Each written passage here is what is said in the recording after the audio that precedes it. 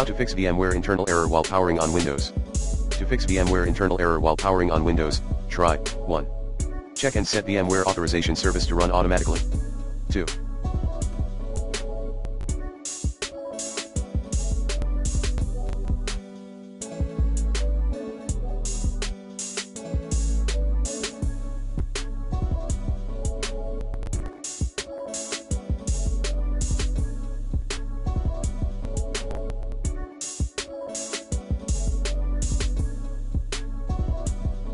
Repair VMware. 3.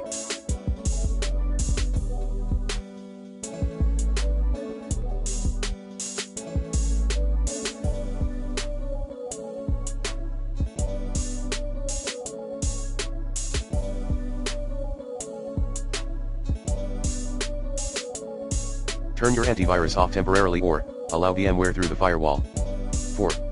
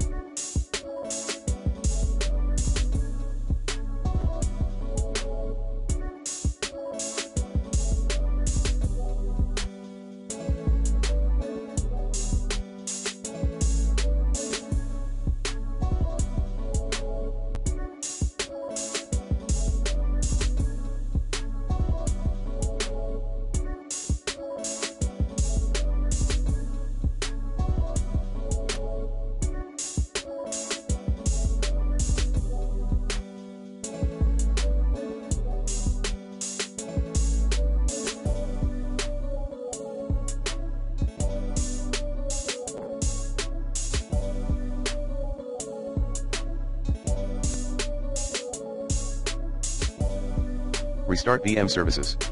Run the following commands as admin.